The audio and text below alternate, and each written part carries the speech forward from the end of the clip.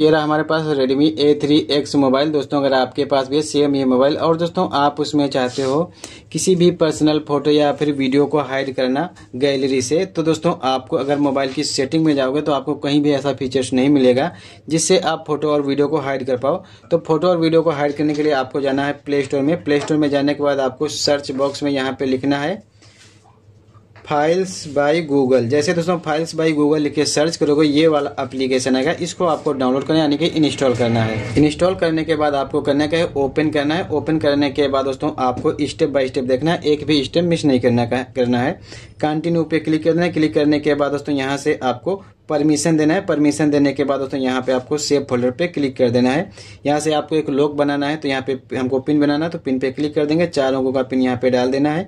Next पे click है दोबारा से वही पिन यहाँ पे डाल देना है। डालने के बाद यहाँ पे नेक्स्ट पे क्लिक करना है। क्लिक करने के बाद यहाँ पे गो टिट पे क्लिक कर देना है। आपका लॉक बन जाएगा, आपको बैक जाना है। बैक जाने के बाद आपको फ़ोटोज़ हाइड करना तो इमेजेस पे क्लिक करना क्लिक करने के बाद आपकी जो भी फ़ोटो रहेंगे, वो यहाँ पे देखने को मिल जाएँगी। जो भी फ़ोटो हाइड करना उस पर क्लिक करना क्लिक करने के बाद थ्री डॉट पे क्लिक कर देना पे मूव टू सेव फोल्डर पे क्लिक करना है, यहाँ से आपका जो पिन था वही पिन यहाँ पे डाल देना है नेक्स्ट पे क्लिक करना है। क्लिक करने के बाद सक्सेसफुली आपकी फ़ोटो जो है हाइड हो जाएगी।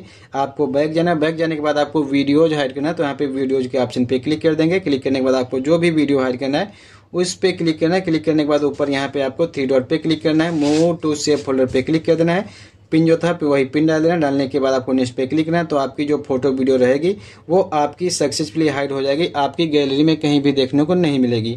तो दोस्तों, ये थी बात फ़ोटो वीडियो को हाइड करने की। अब दोस्तों, हाइड फ़ोटो वीडियो आपको देखना है तो कैसे देखेंगे, या फिर अनहाइड करना है तो कैसे करेंगे, उसके लिए आपको फिर से फाइल्स एप्लीकेशन में जाना है। जाने के बाद आपको यहाँ पे तो दोस्तों, फाइल्स एप्लीकेशन में जाने के बाद आपको यहाँ पे सेव फोल्डर पे क्लिक करना है। क्लिक करने के बाद आपका जो पिन था, वही पिन यहाँ पे डाल देना है।